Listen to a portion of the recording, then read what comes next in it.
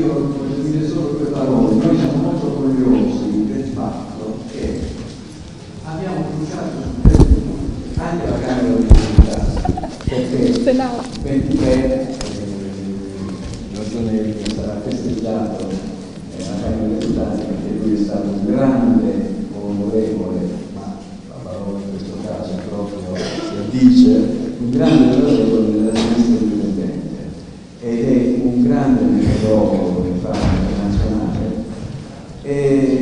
una cosa, lui scrive sempre, anche ora, con una regolarità incredibile, su un, un giornale importante del sud, che si chiama la Presidente del Mezzogiorno, perché lui poi eletto in Puglia, eh, e ha insegnato, ha insegnato 40 anni all'università attualmente si chiama Domoro, l'Università di Bari, come professore medico dell'Università di Bari, e lui scrive, e ogni martedì noi leggiamo questo quotidiano importante il suo intervento. L'ultimo lo ha scritto il 12, martedì 12, intitolato Furbizie pensatine da madre natura e lui termina, termina questo articoletto con questa frase, dice l'osservazione della natura offre soluzioni per risparmiare energia, per inquinare di meno e per innovazioni che creano occupazione e ricchezza. Cioè il messaggio è impariamo dalla natura, quindi è un concetto tipico della più economy. E noi ora abbiamo voluto, eh, abbiamo avuto questa idea che siccome lui spontaneamente, dopo aver letto del, questa iniziativa del convegno, ha scritto una lettera di adesione al convegno, che poi è un altro, una lettera impegnatissima, perché con molti concetti che ha espresso in questa lettera, e noi abbiamo pensato di dargli un, un attestato. Siamo... Cioè, non di aspettare, allora, professore, una cosa. Siamo lieti Puoi leggere tu? Allora, sì. Siamo lieti di consegnare al professor Nebbia un attestato d'onore, al professore emerito Giorgio Nebbia. I promotori del convegno sono lieti di conferire un attestato d'onore per lo straordinario contributo dato al campo delle scienze ambientali e delle lettere, con particolare riferimento all'impegno profuso a favore della conservazione e valorizzazione di biblioteche e archivi privati di particolare valore storico, a beneficio dell'intera collettività presente e futura.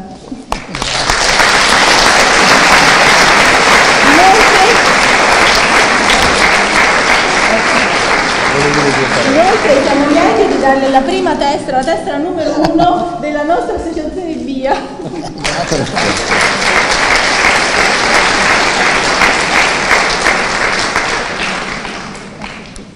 Voglio ringraziare tutti eh, per le parole cortesi eh, che, non, che non merito direi, eh, se non per il fatto che sono un cacciatore di carte e un collezionista di carte, libri, documenti, in gran parte legati appunto eh, ai problemi ambientali.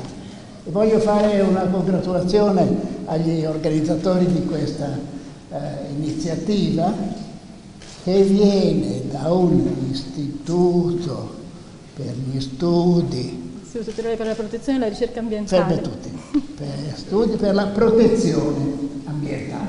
E quindi evidentemente eh, l'ambiente va protetto, va protetto da qualche cosa e si può proteggere l'ambiente soltanto guardandolo in faccia e si può guardare in faccia l'ambiente soltanto attraverso le.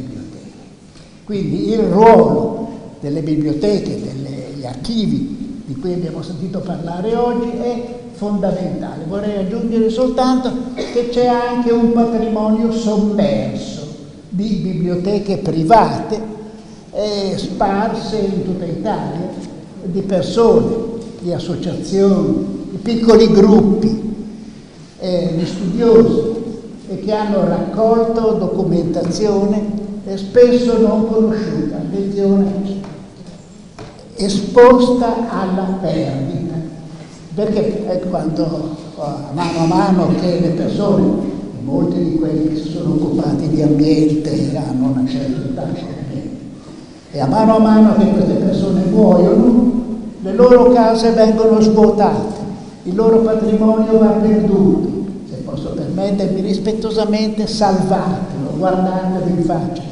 C'è ancora tanta eh, informazione, tanta notizia che può aiutare ad evitare futuri guai e a proteggere l'ambiente. Grazie tanto. Grazie a lei.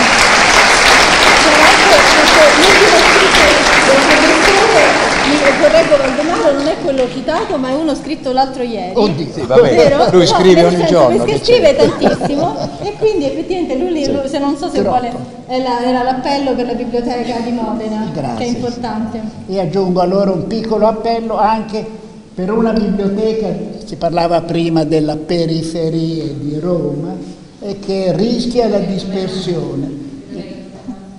Quella La della biblioteca intestata a uno dei miei amico e, beh, noto, anche lui scomparso, biblioteca personale, anche questa destinata a rischio di dispersione, che è stata salvata da una piccola biblioteca di periferia in, un in uno dei parchi, eh, biblioteca che rischia di andare perduta perché questa biblioteca rischia di essere chiusa, non ci sono più soldi. Salvatela anche questo, salvate i libri che rischiano di essere perduti. Grazie.